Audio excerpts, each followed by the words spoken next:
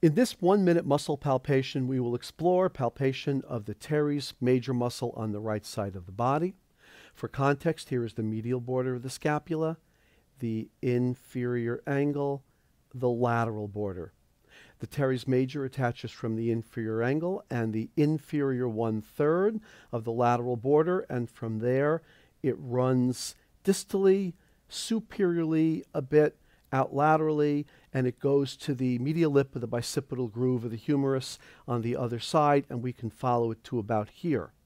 So I'm going to start at the inferior angle, and then I'm going to drop just off at about here. Simona, I want you to press your forearm against my knee here, and that's medial rotation of the arm at the shoulder joint, and it makes the teres major engage. Relax. I soften in, press up against me, and it hardens. I can clearly see that. Relax. I sink in, press against me, and I'm pushed out.